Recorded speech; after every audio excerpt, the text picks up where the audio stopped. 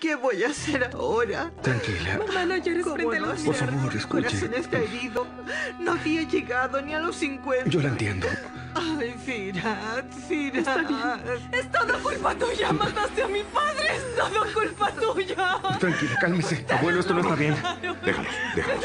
Sí, mi Están muy dolidas, hijo. Es normal que se descarguen. Tiene razón, tiene razón, tiene toda la razón. Venga aquí. Tranquila, tranquila. Padre. Siéntese.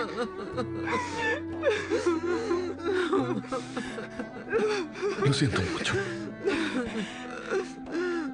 Entiendo muy bien la rabia que siente. Y ojalá pudiera hacer algo. Ojalá pudiera traer a su padre de vuelta. Créame que daría lo que fuera porque eso ocurriera.